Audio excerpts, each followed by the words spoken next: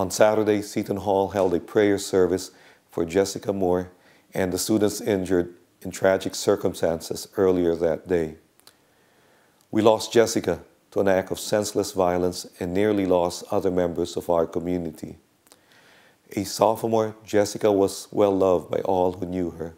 She was a gifted athlete and a true blue pirate basketball fan. As a psychology major, she planned to counsel veterans suffering from post traumatic stress syndrome.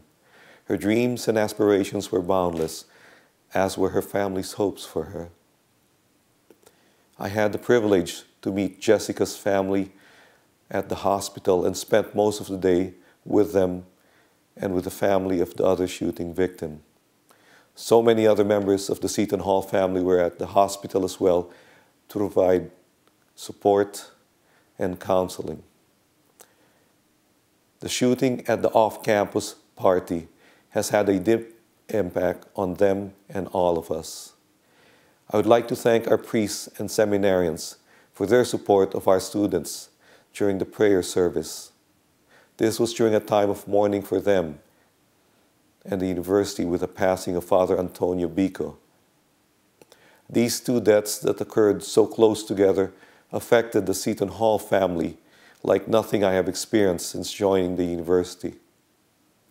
To see the chapel packed for Father Bico and the main lounge overflowing for Jessica made me proud to be a Setonian.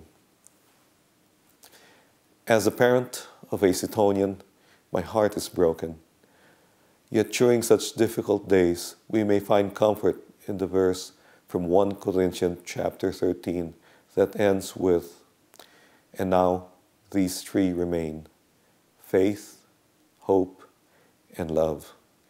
But the greatest of these is love. The outpouring of love on our campus gives me hope that we will be stronger.